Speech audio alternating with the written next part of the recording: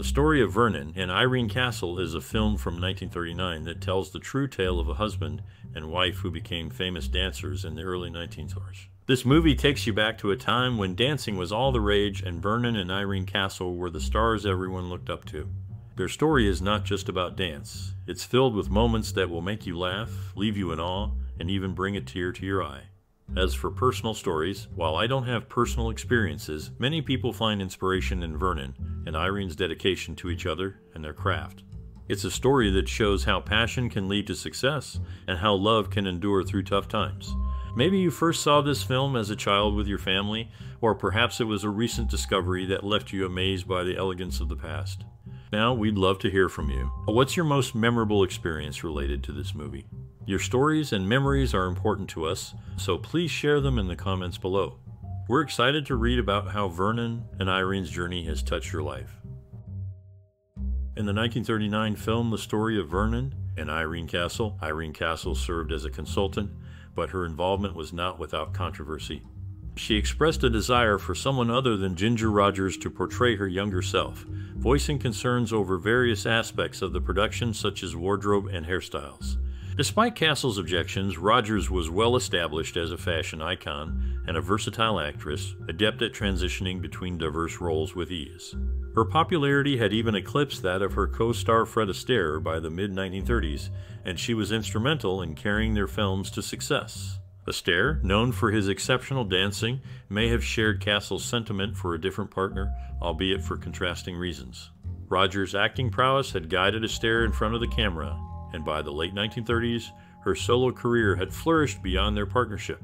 The film Carefree could have potentially benefited from casting a different lead opposite Rogers, suggesting that a pairing with an actor like Cary Grant or Jimmy Cagney might have elevated the movie's success. Astaire's career, while initially soaring, faced challenges, as indicated by his reaction to the comparative performance of Carefree and Vivacious Lady. In contrast, Rogers' career trajectory was on a stellar rise, with her solo projects outperforming any of their joint ventures. Her ability to carry a film was unmatched, necessitating a co star of equal caliber, which ruled out many of Hollywood's talents at the time. Ultimately, Castle's criticisms did little to tarnish the reputations of those involved in the film, instead, reflecting more on her own perspectives. Ginger Rogers emerged as the sole actress capable of fulfilling the demanding role opposite Astaire, cementing her status as a leading figure in Hollywood.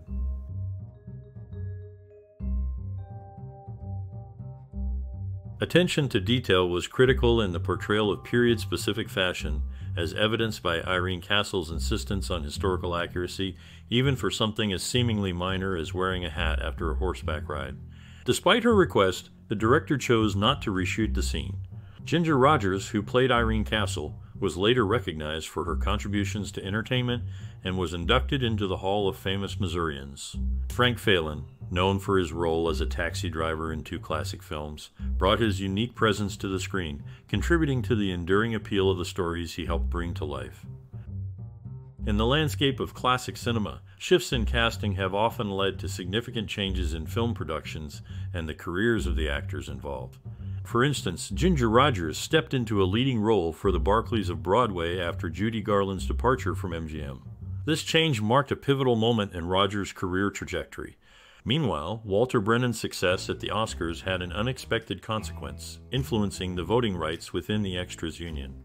Additionally, the influence of film characters extended into other forms of media, as seen with Frank Faylen's portrayal of Ernie the taxi driver, which is believed to have inspired the naming of a beloved Muppet character on Sesame Street. These instances highlight the interconnected nature of the film industry and its cultural impact. In the world of early Hollywood dance films, the personal histories of the stars often intertwined with their on screen performances. Fred Astaire, a prominent figure in dance, had a diverse family background with his father originating from Austria and his paternal grandparents from the Czech Republic who converted to Catholicism. His mother was a Nebraska native with German Lutheran roots. Marge Champion, another notable dancer, shared her life both on and off the stage with Gower Champion, with whom she had two sons, Greg and Blake. In a return to Broadway, Marge Champion graced the stage in a revival of Stephen Sondheim's Follies, playing a role that mirrored her real life experience as part of a song and dance duo performing Rain on the Roof in January 2001. These personal details provide a glimpse into the lives of the individuals who contributed to the rich history of dance and cinema.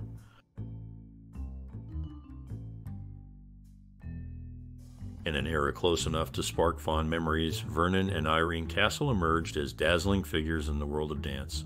Their journey, marked by grace and passion, captured the hearts of those who found joy in their movements. Etienne Girardot, whose life on stage began at 17, made his mark in the United States with his performance in Charlie's Aunt. Meanwhile, Walter Brennan, a man of traditional values, expressed his concerns over the influence of contemporary music on his grandchildren, highlighting the generational shift in cultural preferences. In the landscape of early Hollywood, Ginger Rogers stood out not just for her acting and dancing skills, but also for her unique family history. Her ancestor made a significant medical discovery. Frank Faylen, another notable actor, left his mark with roles in multiple acclaimed films, including two that won the Oscar for Best Picture. His career spanned various genres and decades, showcasing his adaptability. Meanwhile, Edna May Oliver's presence on screen was often likened to Frances Sternhagen, both sharing a similar look and a knack for wry humor, which made them distinctive in their comedic roles. Each actor brought their own story and talent to the screen, contributing to the rich tapestry of cinema history. In the late 1930s, Marge Champion, a dancer and actress, entered into marriage with Art Babbitt, a notable Disney animator known for creating the character Goofy. Their union, however, concluded in divorce after a brief period. During the early 1920s, Victor Varconi transitioned from stage to screen, showcasing his acting skills in German silent films such as Beyond Good and Evil and Night Visit at the Northern Bank. His career continued with roles in Lords of the Sea and the epic Sodom and Gomorrah, both released in 1922. Fred Astaire, a prominent figure in dance and film, was later featured in the publication American Classic Screen Interviews, highlighting his enduring influence in the entertainment industry. In the landscape of early Hollywood, Walter Brennan emerged as a significant figure by winning the first Oscar for Best Supporting Actor in 1936, setting a precedent for future awards. His achievement was not an isolated event, but part of a broader narrative that included actors like Frank Faylen, known for his family's acting lineage, with both his daughters, Carol and Kay, following in his footsteps. The roots of such talent can often be traced back to familial influences as seen in Brennan's case, whose parents, William and Margaret Brennan, were Massachusetts natives who later moved to California. These connections highlight the interwoven nature of personal history and professional success in the film industry.